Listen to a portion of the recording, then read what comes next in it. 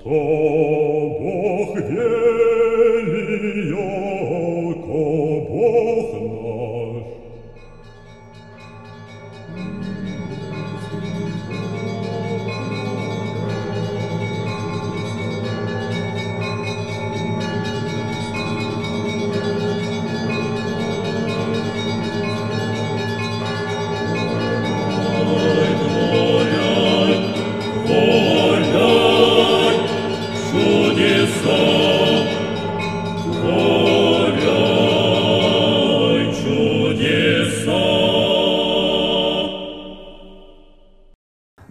Конечно, дорогие телезрители, знакомо сочетание слов «тот свет». Тот свет, куда уходят и откуда никогда не возвращаются. Разлука очень тяжела, но тем не менее есть связь между тем светом и этим светом. Это молитва. И в следующую субботу Святая Православная Церковь наша будет служить большую панихиду. Это называется Большая Вселенская Родительская Суббота, поминальная, о которой сегодня мы поговорим с протеереем Василием Тимчуком. Отец Василий, будьте добры. Итак, молитва — это связь между тем миром и этим миром. И в субботу это Дмитриевская э, поминальная суббота, которая уже установлена много-много-много лет, да? Действительно так, що Святою Церквою установлено молитва у усопших. Это шесть раз в году сугубо, когда Святая Церковь молится за всех от века почивших христиан.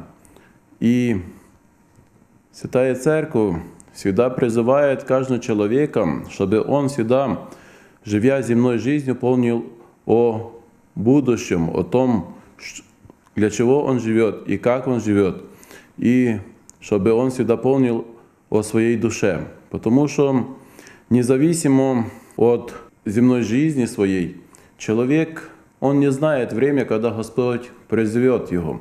И именно молитва за своих родных, близких, она есть велика перед Богом. Мы знаем, что у Господа нет мертвых, у Господа все живы. В Святой Церкви установлений порядок поминания за божественной литургией, и потом после литургии Вселенской панихиды, это шесть раз в году, это суббота мясопустная перед Великим постом, вторая, третья, четвертая суббота Великого поста, Троицкая родительская суббота.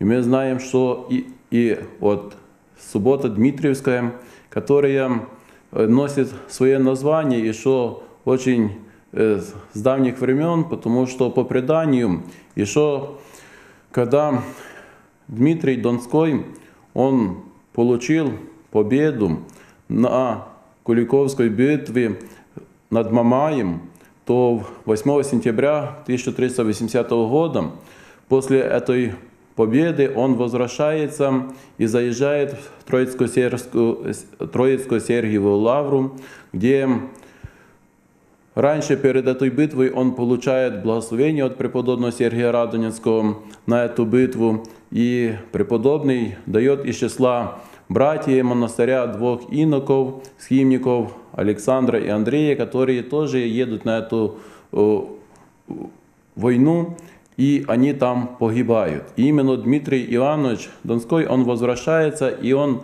в этом монастыре служит панихиду за всех почивших воинов.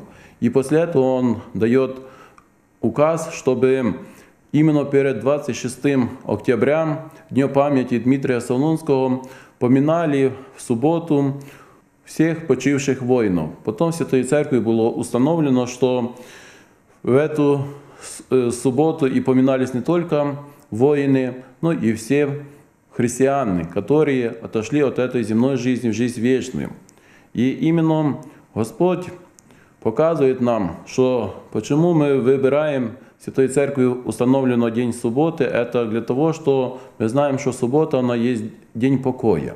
И мы знаем, что и вторая мысль, потому что сам Господь наш Иисус Христос, Он в субботу почил плотью после распятия был во гробе. И все люди, когда они погребаются, мы веруем и просим Господа, чтобы Господь простил всякие прегрешения, которые человек во время своей земной странствования он делает по знанию и незнанию. И не всегда человек достойно может приготовиться до встречи с Богом и давать ответ за прожитую жизнь.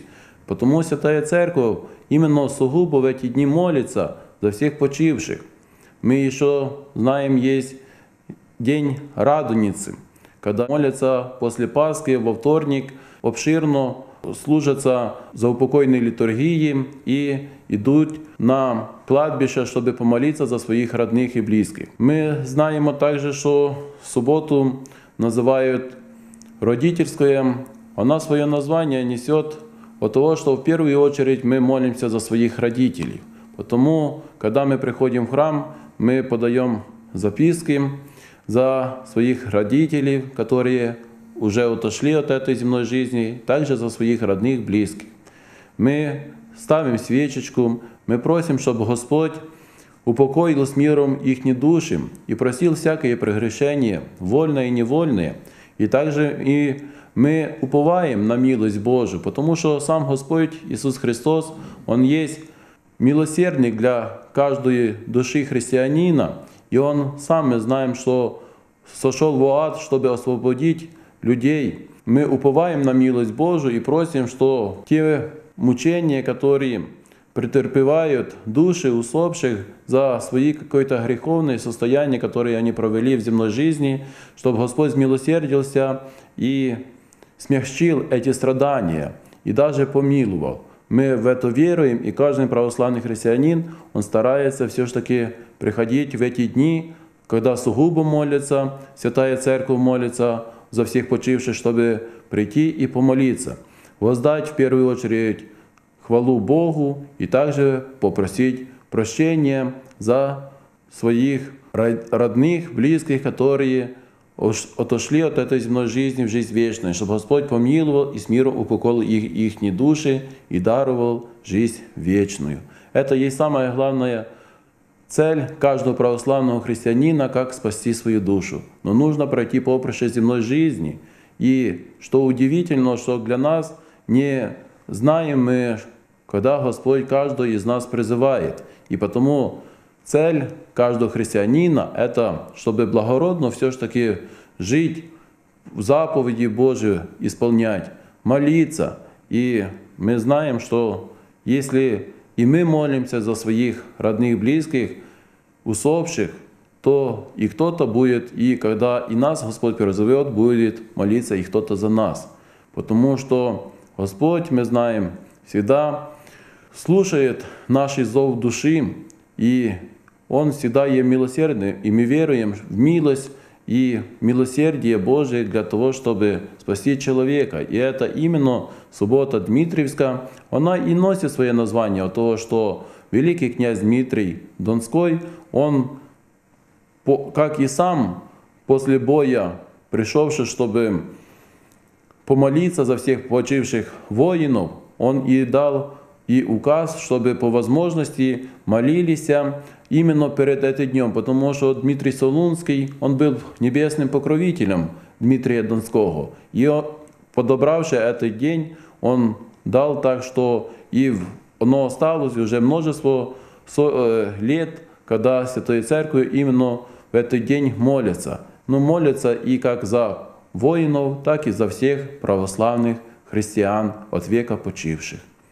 Отец Василий, будьте добры, молитва за усопших – это не только чтобы облегчить и участь. Но можно сказать, что это еще и связь между тем миром и этим миром. То есть как бы мир живой передает свой поклон миру тому. Ну, мы знаем, мы веруем в то, что святые отцы говорят, что плоть умирает, но душа, она вечная. И мы знаем, что даже если человек за земную жизнь, он имеет свойство стареть, плоть стареет – то душа у нас остается молодая, и даже в преклонных летах люди чувствуют и себя как внутренне молодые. Они понимают, мы часом говорим, что какая-то боль внутренняя бывает, это боль духовная, если человек что-то чувствует. Мы не можем это все объяснить, но мы понимаем, что человек, он рождается, и такой пример есть тоже во время родов, когда покидает утробу материнскую ребенок, он тоже тревожится, там есть своя тревога, и это как связь наша, как мы можем понимать, что связь с иным миром. Придет время, когда, как сказано, что и Господь и восстановит нашу плоть, но она будет какая иная, другая, мы не можем это объяснить. И чтобы не только спасти душу, но и спасти и нашу плоть. Но все зависит от нас. Вот мы бываем, что говорим, что семьи мы бросаем в землю, она через, оно через несколько времени приносит плод, то есть возрастает. Но нужно время, чтобы оно было в земле. И так сами и человек, плотью он с праху создан, и в прах должен отойти. Но придет время, когда по зову Господню все люди воскреснут. И мы в это веруем. И мы понимаем, что и наша участь, что мы веруем, что за временной земной жизнью есть жизнь вечная с Богом. А если некому молиться, тогда молится церковь? Действительно так, Святая Церковь всегда молится, она всегда молится э, со словами, что за всех вождей, воинов, жизнь свою за веру и Отечество положивших, за всех от века почивших, отцев и братьев, сродников наших, то есть и за всех, за кому некому помолиться. То есть уже бывает так, что действительно человек, живя, он уходит и род, ну, не, нет продолжения, то обязанность лежит на всю церковь, которая за божественной литургией именно возносит молитвы, чтобы Господь и помиловал, и Господь милует. Мы веруем, мы надеемся, мы молим Господа, чтобы Господь спас всех от века почивших православных христиан.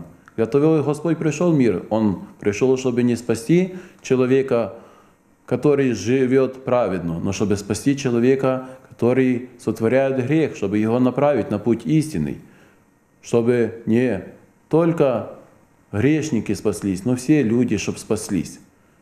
Слава Богу, когда человек старается достойно жить в этой земной жизни, но мы понимаем, что человек есть немощен, только Господь был безгрешен, и не было греха. А у каждого человека есть, и мы бываем, что мы обращаем внимание на какие-то более тяжелые грехи, а мелкие, повседневные, мы на них не обращаем. Это как есть свойство, э, норма нашей земной жизни. И потому и обязанность, чтобы мы всегда приносили покаяние, молились, и долг Святой Церкви и всех нас, православных христиан, всегда молиться. Молиться в первую очередь за своих родных и также не забывать за тех людей, за которых уже нет кому помолиться. И мы должны всегда творить молитву Господню.